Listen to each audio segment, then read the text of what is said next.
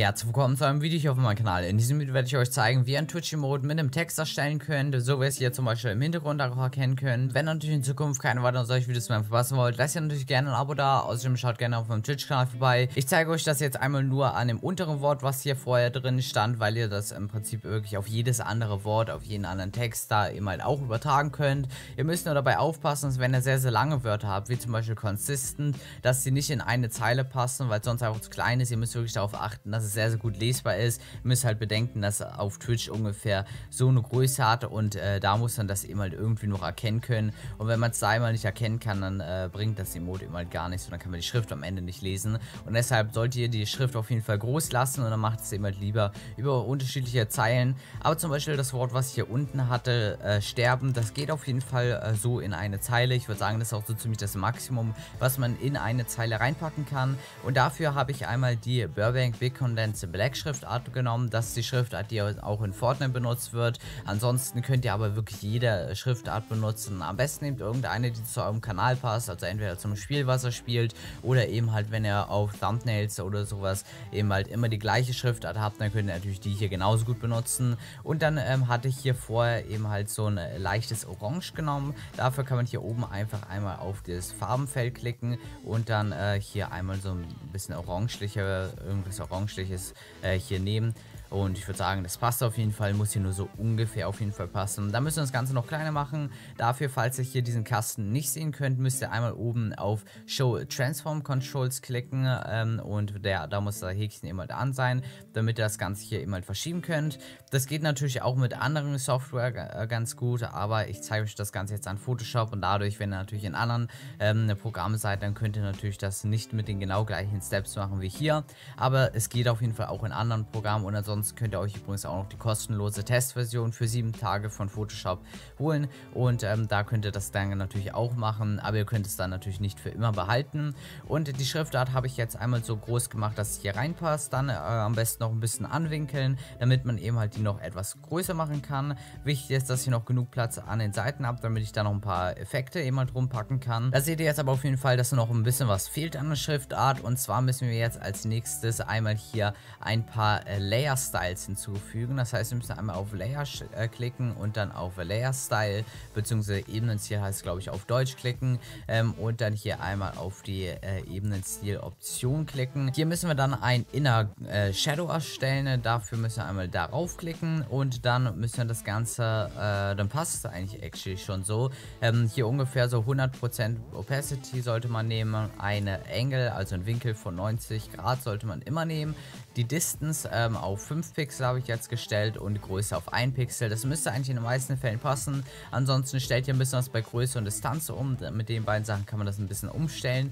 Und da müsste ich hier natürlich nochmal eine Farbe auswählen. Dafür geht einfach an der Seite hier einmal ein bisschen runter und dann irgendwie so auf eine Farbe, die sich ganz gut abhebt. Irgendetwas könnt ihr dann nehmen. Ähm, versucht einfach, probiert ein bisschen hier rum, bis ihr eben mal irgendetwas findet, was ganz gut dazu passt. Dann einfach OK klicken und dann seht ihr, dass hier schon mal so ein leichter 3D-Effekt, eine leichte Umrandung dazu gefügt wurde. Und jetzt müssen wir im Prinzip nur noch einmal über alle, ähm, über alle Wörter, die wir hier haben, einen generellen Effekt legen. Dafür packt das Ganze am besten in eine Gruppe. In der Gruppe könnt ihr hier unten äh, stellen durch diesen, äh, durch dieses Ordnersymbol und dann müsst ihr einfach nur einmal alle äh, Sachen hier reinziehen in die Gruppe und dann könnt ihr mich einmal auf die Gruppe klicken und dann habt ihr sozusagen alles ausgewählt. Ihr könnt natürlich auch einzeln hier mit äh, Steuerung alles auswählen und das so rüber machen. Mit der Gruppe ist es aber einfach übersichtlicher und wenn ihr auf dieser Gruppe dann äh, drauf seid, das angeklickt habt, dann müsst ihr einmal auf Layer klicken, wieder einen weiteren ähm, Ebenenstil hinzufügen und zwar diesmal ein Drop Shadow und da gibt es dann erstmal zwei unterschiedliche Drop Shadows, die ihr braucht. Als erstes haben wir hier einmal ein Drop Shadow mit 100 100% Deckkraft wieder, 10 äh, Pixel Distanz. Auch hier wieder in der Distanz können wir ein bisschen was umstellen, wobei die Distanz eigentlich auf 10 Pixel immer so ziemlich das perfekte ist.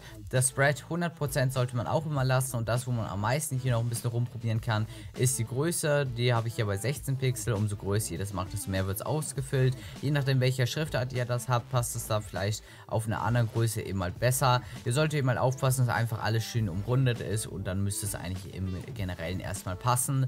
Und und dadurch seht ihr auf jeden Fall, dass das schon so ein bisschen mehr hervorgehoben wird, weil man immer so einfach einen gewissen Kontrast hat und das ist immer relativ hilfreich, ähm, vor allen Dingen, weil es immer relativ klein ist, so kann man das deutlich besser erkennen. Und dann habe ich noch einen zweiten ähm, Job Shadow, also einen Schlagschatten hinzugefügt und den halt mit einer anderen Farbe und zwar mit so einem pinken gemacht. Dort könnt ihr auch wieder rumprobieren, was am besten zu eurer Schriftart passt. Hier auch wieder Deckkraft 100%, Distanz 10 Pixel, der Spread auf 100% und die Größe muss ja etwas größer sein, am besten so etwas wie ungefähr doppelt so groß wie ihr den ersten Schlagschatten gemacht habt, also bei mir zum Beispiel dann 32 Pixel. Und dadurch habt ihr dann nochmal eine zusätzliche Umrandung. Und so kann man das Ganze auf jeden Fall deutlich besser sehen. Wenn wir jetzt nämlich nochmal rausscrollen hier aus dem Ganzen. Und äh, wir müssen natürlich vorher erstmal das Ganze hier auch äh, bestätigen mit einem OK hier oben rechts, aber wenn wir jetzt rausscrollen, dann sieht man auf jeden Fall, dass man das äh, relativ weit erkennen kann, also selbst in diesem dieser Distance kann man das immer noch sehen, was da hinten steht. Wahrscheinlich könnt ihr es jetzt nicht unbedingt sehen, aber auf jeden Fall kann man das, wenn man es auf Twitch sieht, so immer noch sehen und das eben halt wie gesagt die Größe. Ohne diese Umrandung hat es halt zu wenig Kontrast. Mit diesem schwarzen hat, das, hat die Farbe allein schon Kontrast und mit dem lilan hat es dann auch noch vor dem generellen Hintergrund vom Twitch-Chat, der ja meistens dunkel ist, auch nochmal einen zusätzlichen Kontrast und so kann man das Ganze auf jeden Fall ziemlich gut sehen. Wenn ihr jetzt so ein bisschen mehr Schrift hier rauf bekommen wollt, ohne dass es immer kleiner wird, könnt ihr auch noch mit Shift ähm, das Ganze hier transformieren transformieren. Wenn ich hier oben raufklickt, dann wird das nämlich also etwas gestretched in die Richtung und dadurch habt ihr eben halt dann nochmal äh, mehr Platz, das eben halt hier an der Seite kleiner zu machen. So kann man es auch immer noch einigermaßen gut lesen und es ist hier halt nicht wirklich kleiner geworden und man hat trotzdem immer mehr Platz für noch einen weiteren Buchstaben. Wenn ihr dann am Ende fertig mit eurem Emote seid, müsst ihr einmal hier oben auf File klicken und dann hier auf Export und Save for Web klicken, beziehungsweise könnt ihr dafür auch einfach Alt, Shift, Control und S klicken, dann wird eben halt auch dieses Fenster geöffnet. Hier müsst ihr dann ein PNG24 auswählen. Wichtig ist, dass ihr die Transparency aktiviert habt, denn ansonsten wird immer der Hintergrund hier einfach weiß gemacht.